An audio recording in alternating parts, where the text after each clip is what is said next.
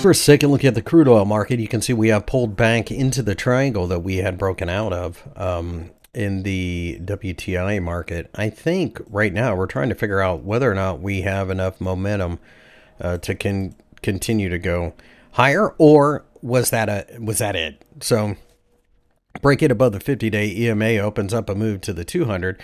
We'll wait and see. I, I still think at the end of the day, we're in the middle of a summer range in, in both of these really. Um, you can see right here, um, and, and, this is the trouble with drawing trend lines. You could be, um, you know, are we in a symmetrical triangle or did we break out of an ascending triangle. It's just, it's a little noisy at this point. But again, I think this is back and forth more than anything else. Um, summer range, I think, continues to come into play.